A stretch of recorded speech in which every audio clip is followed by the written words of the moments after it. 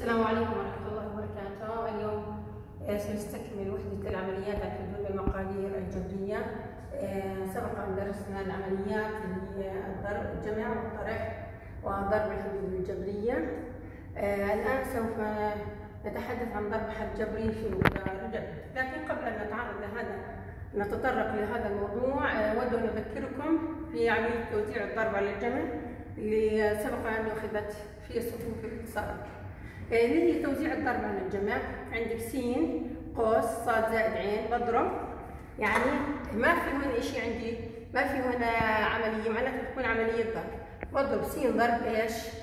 صاد اللي هي س صاد وس ضرب عين اللي هي إيش؟ س عين مثال مثلا ثلاث ضرب أربعة زائد خمسة يساوي بضرب ثلاث ضرب أربعة وزائد تنزل عملية الجمع زي ما هي وثلاث ضرب إيش؟ خمسة، ثلاث في أربعة 12 زائد ثلاث في خمسة 15 12 زائد 15 27 الآن ننتقل للمثال الأول أوجدي مفهوم كل يأتي.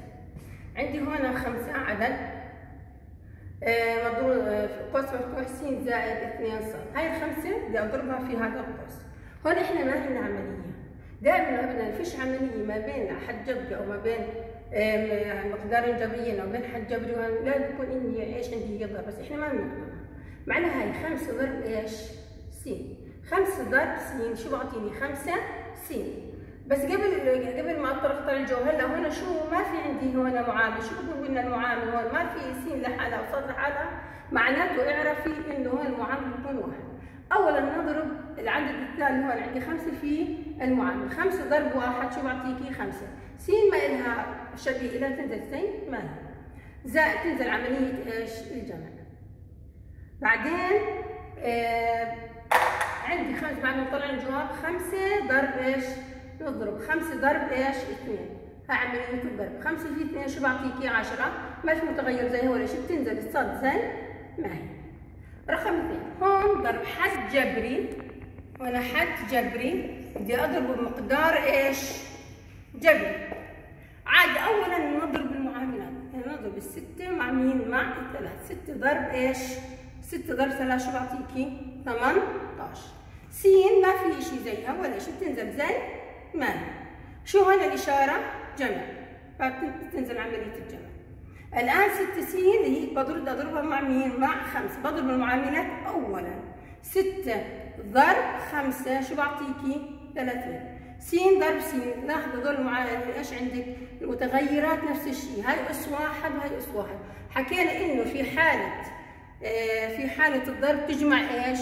الأسس لو حكينا إنه في حالة في حالة الضرب تجمع إيش؟ الأسس يعني س ضرب س شو بيساوي هون اس واحد هون اس واحد شو بصير؟ س واحد زائد واحد شو بيعطيني س أس اثنين. خلصنا. هلا نيجي على أربع علام مضروبة في القوس قلنا في هون عملية ضرب بس إحنا ما بنحطها. القوس لام ناقص 2 س أولا نبدأ بالمعاملات هون ما في معامل شو بكون هون عندي أنا؟ واحد. أربعة. ضرب واحد شو بعطيكي؟ أربعة. لام ضرب لام هون أس واحد وهنا أس واحد بحط لام. واحد زائد واحد اثنين لأن عندما تكون متغيرات متشابهة نجمع الأسس. تنزل عملية الطرح. بدك نضرب نفسها أربعة لام مع مين؟ مع اثنين س أربعة ضرب اثنين شو بعطيكي؟ ثمانية. لام ما في متغير زيها تنزل زي ما هي والسين تنزل زي ما هي. عندما تكون متغيرات ليست متشابهة بنزلها زي ما هي ما, بعمل ولا بجمع أسس ولا شيء. تنزل كما هي. الآن سؤال أربعة صفحة خمسين أوجدي مفكوك كل ما يأتي. ألف ثلاثة س مضروبة قوس آه، صاد زائد لا. قلنا بوش نضرب المعاملات. ثلاثة ضرب إيش؟ واحد. شو بعطيكي ثلاثة. س ضرب صاد متغيرات مختلفة. تنزل وبينزلوا زي ما هم شو العملية هون جمع؟ بتنزل.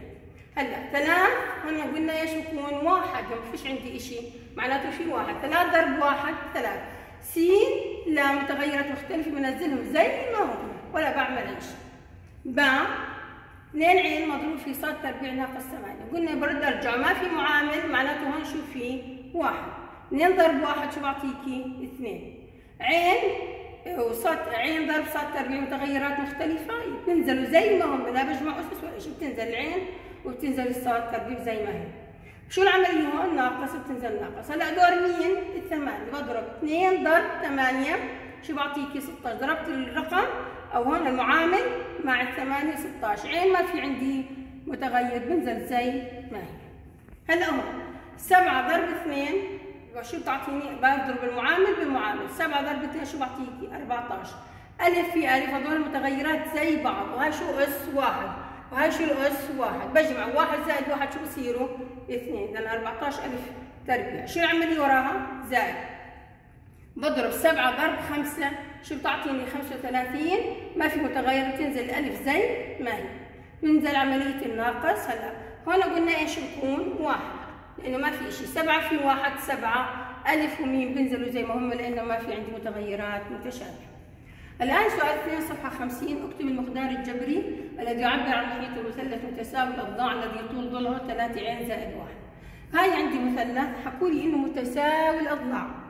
شو يعني متساوي الأضلاع؟ جميع أضلاعه متساوية، طول الضلع الأول يساوي طول الضلع الثاني يساوي طول الضلع الثالث، وإحنا دائما بالرياضيات بس نحط نفس الإشارة بكون إيش؟ بكون كلهم متساويين. إحنا بنعرف المحيط المثلث شو بيساوي؟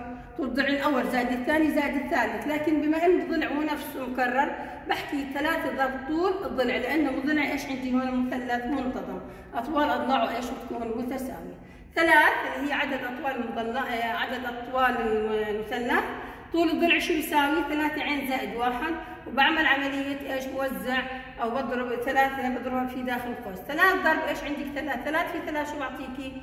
تسعة والعين بتنزل لأنه ما في متغير، بتنزل عملية الجمع، لما ضربنا ثلاث المرة الأولى برد أضرب ثلاث في المقدار الثاني اللي هو في الرقم واحد، ثلاث في واحد شو بعطيني؟